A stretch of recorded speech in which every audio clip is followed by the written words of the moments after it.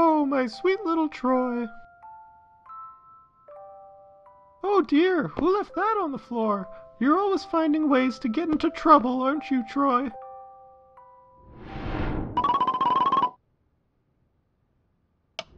Yeah, that's right. Ow! I think I broke something. Troy, what have you done?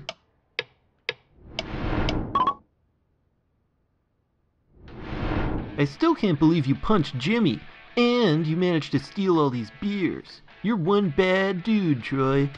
Cheers. Ow, oh, what was that for? Troy, you're crazy.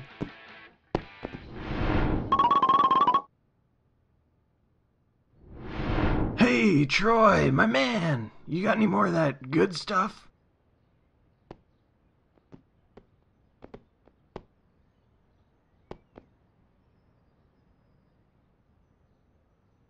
You're killing me here, Troy.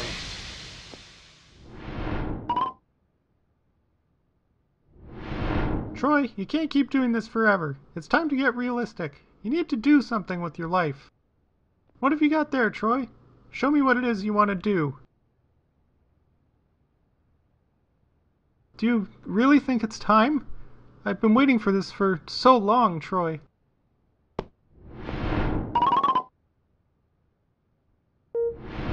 Congratulations, Troy. It's a healthy baby girl. Here, would you like to hold her? There you go. How does it feel to be a father?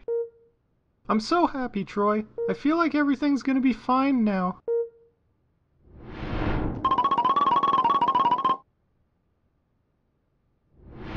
Happy retirement, Troy.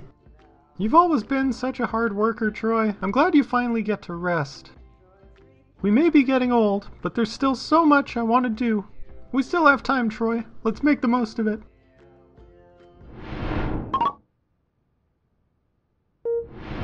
Doctor, isn't there anything you can do for him? I'm afraid not. As I'm sure you know, Troy's early life was a bit troubled in terms of, uh, substance use, and it's finally caught up with him. Well, here's your diagnosis, Troy. I know it's not what you want to see right now, but it's the truth. Troy's lived a full life, but all things must one day end. I'm sorry to tell you this, Troy, but you've got about 10 seconds to live.